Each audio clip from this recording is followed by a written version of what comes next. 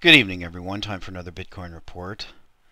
This is not a chart of the PP coin or the name coin or the Litecoin or the Bitcoin. No, this is a chart of the Japanese yen. Uh, the five minute chart provided by netdania.com. You can click on the link below.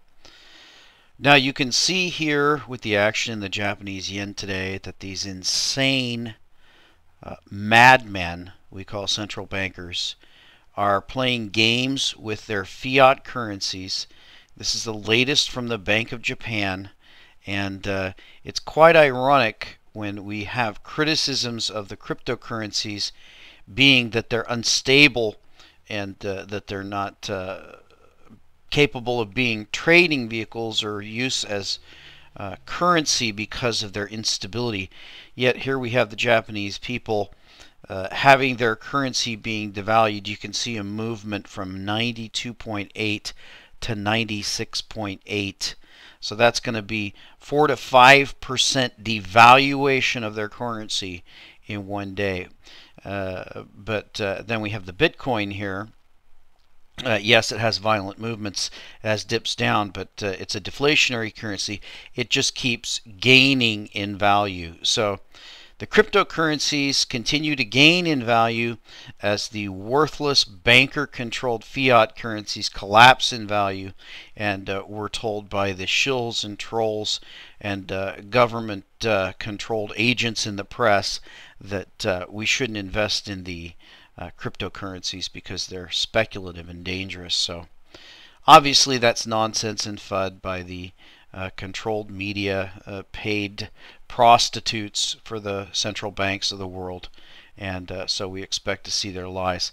Now, as you know, I had predicted that I was expecting a run to 100. That was back when we were around $50. I predicted a rapid run to $100. We got that. We actually went through that. I was expecting a, a correction back to 50. We did get a correction from about the 96 level down to about the 74 level, but then we took off again. Now I'm going to predict that we're going to run to $300 before we see a significant correction. One of the reasons I say that is because we can see these spike lows, rallies, spike lows, rallies, spike low. And uh, so we're doing the same sort of thing here. You can see it's that clearly rising pennant formation. The high we hit before we had massive DDoS attacks against uh, uh, a lot of the sites uh, that trade Bitcoin and uh, not just Mt. Gox, but many other sites came under massive DDoS attacks. I think we all know who's behind that. Uh, but uh, I do predict that we're going to see another run, and probably this time the run, my guess is it's going to take us to $300 on the Bitcoin. Now, uh, the news, uh, if you go to the blog, the news is fast and furious. Uh, just crazy news as the mainstream media covers the Bitcoin story. Of course, as the price rises, uh, they have to uh, cover it uh, they don't really have any choice because they're already irrelevant. But by ignoring the Bitcoin, they just become even more irrelevant. So we've seen stories on Fox News, Bloomberg, Wall Street Journal, all of the mainstream banker owned media. And of course, uh, they're late to the party and uh, most of their stories are filled with FUD, distortions, and all kinds of stuff. So we want to look at the rallies that have been going on in the alt cryptocurrencies. But before we do that, I wanted to uh, take some user questions. Now, on the forum, we had done a contest in the Litecoin, uh, and I gave away 50 Litecoins to the winner. Uh, probably not going to be able to do that next time, considering that now uh, the Litecoin's up four to five dollars. So uh, we're talking uh, like that's two to three hundred dollars. But uh, that's how crazy those alt currencies have been. But let's take some questions. the first one is from Blue Helix, and it's Do you know the Bitcoin OTC market? and uh, why I think it's nice to participate in it. Do you know the Bitcoin OTC market and why I think it's nice to participate in it? Imagine you want to buy or sell at a given time your cryptos to something else and the market and the markets Mt. Gox, BTC-E have problems, bottlenecks, regulations. Isn't it nice uh, to go and trade from person to person on markets based on trust? And then here's a link. A chain of trust. How can I trust someone? Assume I did several trades with others and we know each other and trust each other to a certain level know and want to trade with me, but you don't trust me in particular, but you can see and verify where trades in a group, you put uh, step inside this group, the chain of trust grows. Uh, even if you try to scam me or the chain of trust trust growth uh, knows your OTC career and uh, it goes into that. So yes, I think that that is going to be the way going forward. Now I, I've talked with a number of friends about uh, potential solutions to the problem. We know that the Bitcoin has been criticized because uh, it's irreversible. Of course, that's actually a benefit of it. Uh, we don't have central bankers in there and bank uh, banking criminals deciding uh, whether it's a legitimate trade or not. You're going to have to uh, go to the free market to establish that. And there's a lot of things that could be done. Uh, I've thought about and tried to imagine ways where that could be done. You could imagine you could have an intermediary, and with that intermediary, you would deposit uh, your bitcoins, and uh, there could be a uh, key sent with the item. And uh, if there were a company that were delivering them, such as UPS uh, or something like that, uh, the signature could release the, the match on that key and that would be sent back to the intermediary. At that point, they would know to release the funds. So there's a lot of solutions the free market can come up with to solve this problem without having to rely on the banksters. And uh, the next question, and uh, this is by Fish, government controls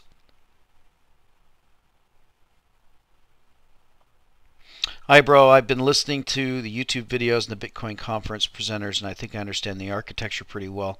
It's exciting. One thing I can't seem to think through in this what would keep the government from just buying all the Bitcoins with their phantom fiat and killing it? Thanks for all you do.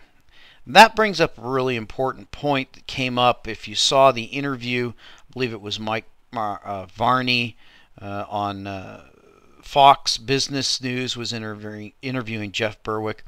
And Jeff has done a fantastic job in the interviews he's given to the mainstream press. Of course, Jeff is very professional and uh, very uh, well spoken, uh, very well kept, and uh, so he makes a great spokesman for the Bitcoin.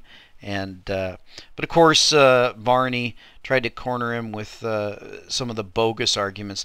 One of the bogus arguments that's been coming out uh, recently that I've seen, this was actually one that was in a Bloomberg article, was the reason why the Bitcoin is no good is because uh, as opposed to uh, government currencies, the uh, the Bitcoin, he says, uh, there's so many locked into wallets that there's just not enough Bitcoins out there but the wonderful thing about fiat currencies is that they can just print more. So uh, a completely asinine argument, and we know that it is uh, completely false because we know that uh, even if 99.9% of all the bitcoins out there weren't just locked in wallets, but were actually lost, uh, let's say that 99.9% uh, of all the bitcoins were put into wallets, the key, the uh, encrypted password to those wallets were lost, and we lost 99.9% of all the bitcoins.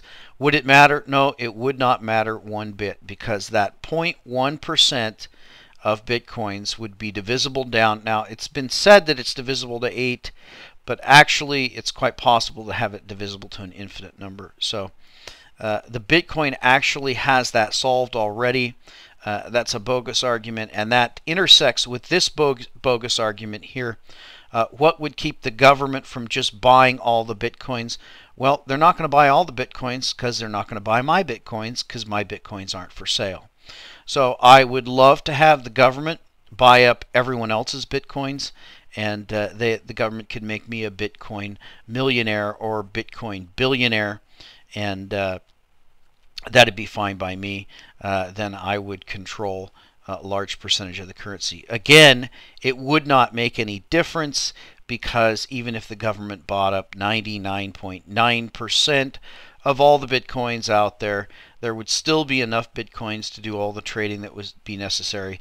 You'd just be trading 0.0000001 on the Bitcoin as opposed to trading uh, 0.1 or 0.01. So it really doesn't make any difference. The designers of the Bitcoin thought of all these things beforehand, and the fact that the shills and trolls and paid liars in the government media that these are the best arguments that they can come up with against the Bitcoin, that's very, very telling. Now, Let's get over to the alt cryptocurrencies. The main action, of course, is over on BTC-E. There's also the Vircurex exchange. I covered both of these before. You can see that the Litecoin now is in a correction phase. It had a very large run. We're going to look at those charts in a second. Also, the Namecoin right now is in a correction phase. Those are the, the two. Now, there is a Nova coin that's traded over here, but this one's kind of uh, uh, a smaller one that doesn't have a lot of action. So the big the big alt cryptos on uh, BTC-E are going to be the Litecoin and uh, the Namecoin.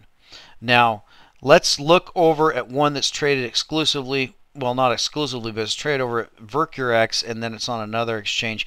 This is the rally that's occurred in the PPC PP coin, and it has been a phenomenal rally. You can see there that uh, people involved in this coin, we've gone from prices of uh, three zeros uh, and uh, three zeros and a two, three zeros even and a one, uh, not quite three zeros and a one, all the way up to uh, this point zero zero three. So there's a tenfold move uh, people who had moved, say, 100 bitcoins into this PP coin and held on for this number of days and are selling now.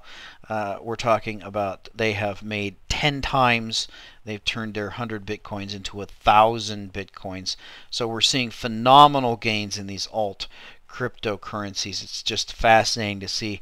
I think a lot of people got the same idea that I had when the FinCEN announcement came out in that uh, if they're going to uh, sell their bitcoins and, and try to take their profit, why not uh, take their profit in another cryptocurrency rather than go back into dollars, which is going to subject them to regulation, going to subject them to capital gains taxes. Uh, let's just continue to trade uh, in the cryptocurrencies and real goods where FinCEN gave everybody the green light saying that, hey, as long as you're trading crypto for crypto or crypto for virtual or crypto for real goods but not crypto for dollars, uh, we don't really care what you do. So that's the PP coin. That is a magnificent rally. The other alt crypto that is only listed on Vircurex uh, pretty much is the TRC coin, and you can see we have a tremendous rally in that coin as well. Uh, we've got uh, a price of uh, three zeros and a eight, something like that. So uh, approaching a tenfold move on that coin. Uh, now uh, over to the two that are traded on BTC-E. They're going to be the Litecoins and the Namecoins. Now I did show on the blog that uh, with the Litecoin, we do seem to have a breakdown uh, right here. We had a very strong trend line and a breakdown. So we're, we're consolidating in the Litecoin. Of course, the Litecoin has had a fantastic move.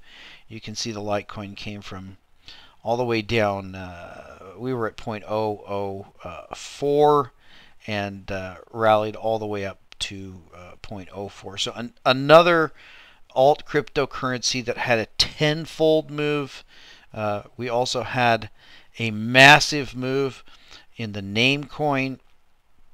A Namecoin is a coin that uh, is uh, for alternative DNS resolution, and uh, that's very useful. Uh, for those of you who don't know, the, the uh, authorities love to use DNS to shut things down, so that's a an interesting play there, but you can see that uh, the lows on the uh, name coin were 0.002 and we had a run almost to 0.02 so there's another one. There's an eightfold move. So magnificent moves magnificent profits being made in these alt cryptocurrencies and uh, I think that's just a lot of the people coming out of the Bitcoin and uh, taking some profits and uh, putting their money in the alternative cryptocurrencies. So back to the news stories now. Uh, this is a video from Jerry. He he's pretty upset. Uh, it's called Mount Gox is a scam, and uh, if you watch the video, he uh, tried to pull his bitcoins off of Mount Gox, and he got this identity uh, warning, which is kind of interesting because uh, I've worked with Mount Gox in the past, and they've said uh, you know, you need to put your driver's license and something like that. Now, I can understand why that would be the case if you wanted to uh, withdraw dollars from their exchange, but I have no idea why that would be the case if you simply want to withdraw your Bitcoin. So there's definitely a need uh, for other uh, exchanges to come about. Uh, there's no reason for us to rely exclusively on Mt. Gox. Uh, that definitely needs to change. Uh, the exchanges seem to be the weak link. Of course, uh, Mt. Gox and the others came under tremendous DDoS attack, uh, and that's got to change. We've got to get a consolidation, or I'm sorry, a distribution of uh, exchanges so that uh, there are plenty of choices for people to go to. Uh, now, of course, Max Keiser has been covering uh, bitcoins uh, continuously. He's very, very bullish, and uh, he's one who has consistently been behind the Bitcoin. A lot of people have criticized him, but he's stood fast with that. Some of the other stories, of course, Forbes, they allow a lot of people to submit stories, so that's not significant. Forbes has been covering the Bitcoin for quite a while. Um, there's, of course, a lot of FUD. Here's Art Cashin coming in here, and uh, here's a Harlem Shake thing. And uh, so I tended to have both the good and bad stories uh, on the blog. Uh, here's one Texas family sold Porsche last night for 300 bitcoins. Uh, uh, here's one with the BitPay founder. Uh, you can pay your rent directly in Bitcoin. Uh, Mark Keiser report. And so there's just a, a, tremendous number of stories. I encourage you to go to the blog and read the stories. Uh, we're now up to posting 20 to 30 different stories a day. And uh, the Bitcoin is really exploding. Uh, it's it's being covered in the mainstream media not because they want to, but because they have to Of course, the mainstream media is a thoroughly discredited media organ. Uh, they're controlled by corporate and state interests. Uh, they're no better than the Pravda of uh, the uh, Soviet Russia. They're basically a state news organ, and there's no significance to their stories except for the fact of why they had to mention it. And we know the reason they've had to mention the Bitcoin is because the Bitcoin is an explosive story. And if they don't cover it, then they will be completely discredited and uh, all the sheep will stop listening to them. So they can't do that. So back to the Bitcoin chart. Uh, this chart is very clear to me. We can see the very large volume down spikes and uh, the reason why you have spikes, the reasons why the reason why you use candlestick charts is so that these spikes are apparent. We can see there a very large down spike met with buying immediately. Another very large down spike. That spike was met with buying. Uh, that drives the price back up. Another one uh, met with buying. You can see it turned into a flag formation and then a tremendous breakout. And here we have another down spike and another flag formation. So we're forming another flag, we're, we're preparing another run, and it's my belief for this, uh, and we're talking about a parabolic move. Now, of course, parabolic moves do end up ending in tears, but the question is going to be how high does the parabolic move go before it corrects? And they often correct 50% very rapidly. But based on the uh, flags forming and the bounces in volume. Uh, I'm going to project a $300 price on the Bitcoin, and I'm going to project that to happen within the next couple of weeks. And we'll talk to you next time.